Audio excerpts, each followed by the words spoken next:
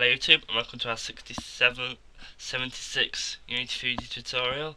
Um, last tutorial we made it so that we could change the colour of the cape and I can't remember which user you are but I'm sorry but you one a user suggested that maybe when you're choosing the genders that a light pops up above the gender which you've selected which sounds really cool so I'm going to um, attempt it. So what I'm going to do first is because Unity's lighting system is glitching I'm just going to delete this light here so it looks a tiny bit better. And then what I'm going to do is grab a spotlight from over here, duplicate it and drag it over here.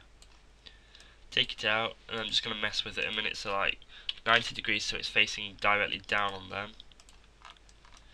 And I'm just going to place it on top of this guy here and just drag it all the way in. I just want him to be like lit up when it's on him. No one else. So if we turn the intensity up, say 1.2, about 2. What's that look like? Hmm. Yeah, that'll do. He's in complete darkness, he's not. Um, what we could try as well, depending if it looks nice, is edit um, and then preferences. Not edit and preferences. Edit render settings. And here we can choose the ambient light. So if we just ah one minute. I just need to fix my start bar because it glitches a bit, which is annoying. So, now that that's fixed, back to edit, render settings, and choose that one. If I drag this down here, you can choose a colour box. And if you watch while I edit the colours, we can have it like, we can make the lights really show what we're looking at. Which looks, I might keep it like that actually. What's that look like here? So you can basically see him. Let's have it. Let's give it a test and see what it looks like.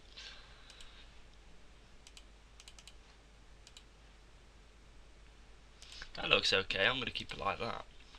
But the one change I'm going to make is I'm going to zoom back in here, grab this spotlight and move it across a bit so you can see. Is it this spotlight?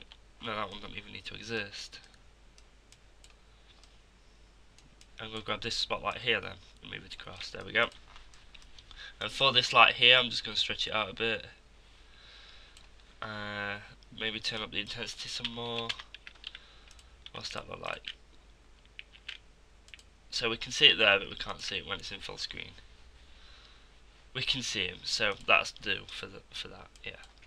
So I'm going to call this female spotlight. That'll do. And also, what I'm going to do is duplicate it, drag it over the male's head. And then deactivate the game object.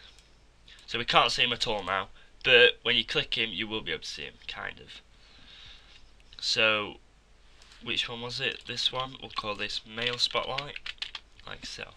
So we're going to drag it into the following ones, so whenever we move it, so say if we move the male one, the spotlight, well we'll move the female one so you can actually see it, the spotlight will follow him, so yeah.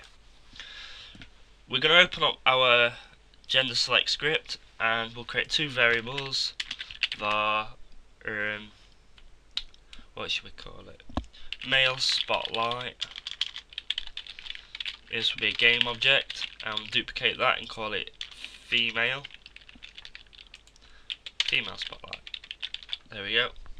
So in here if male is true then male spotlight dot game object equals true dot set active true. Let's see if this set active works now. So we'll make this second one false and make the female spotlight false. However, if the female is true, we will make the female spotlight true and the male one false. Let's see if it likes dot set dot set active yet. Oh, it seems to like it. So we can begin using set active now, like Unity wants us to.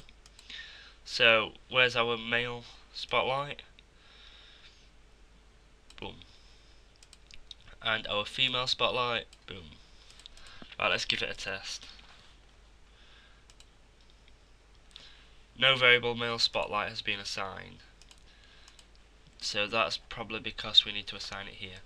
So we will click our male one again and assign it to male and assign our female.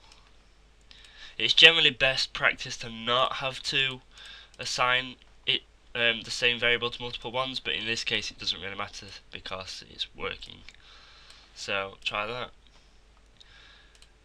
Click, click, click, click. So that's perfect. We can see them roughly.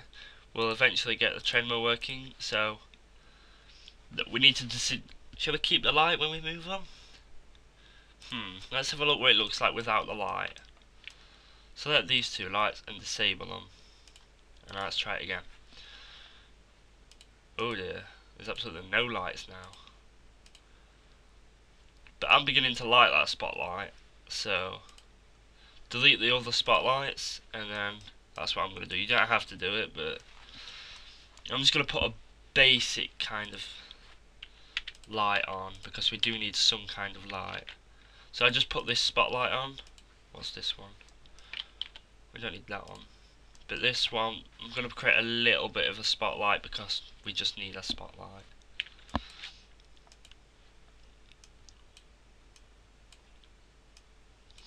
And the range will be 100.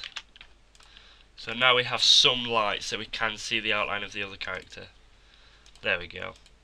And Unity's lighting engine is working liking this one perfectly. Um, in order to fix the head scales, all we're going to do is assign the same scales to the character, to the head armor and stuff than what the character is. It's really simple. Um, so we've got a lot of variables to assign. We should have done it while we do it. Next tutorial, we'll need to get them variables done before we can actually carry on, else we'll mess up. But what we will be working on is something new really, something out of the blue. So I'll do a video on how I create the female one for anyone who would like to see it. You don't have to. It won't be part of the Unity series, so keep a lookout. Um, and that's it. So quick tutorial. Hope you liked it. See you next time.